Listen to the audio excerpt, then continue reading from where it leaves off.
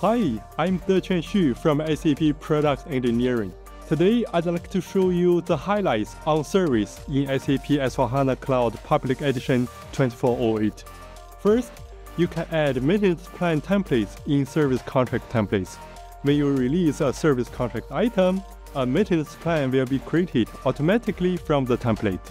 When you work with service contracts with maintenance plans, the new feature makes your life much easier.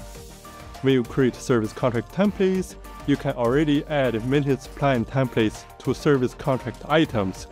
After creating a service contract from a service contract template, the maintenance plan templates are also copied.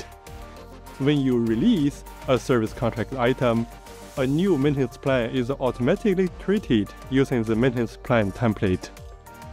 If you don't use service contract templates, you can also add maintenance plan templates directly in a service contract. Second, a new app, Mass Processing of Service Contracts, is available. This app supports the repricing of service contracts.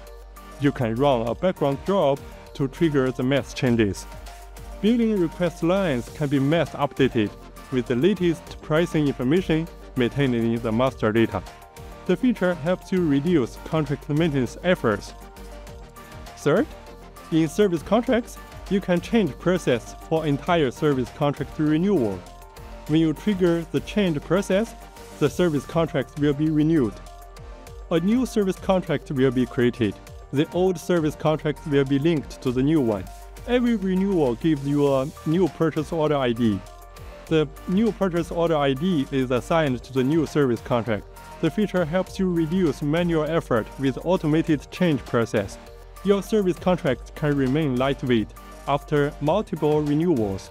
If you want to know more, check my What's New blog post. Visit the SAP community and learn more details about what's new in SAP S4HANA Cloud Public Edition 2408 release. Thanks for watching this video and see you next time.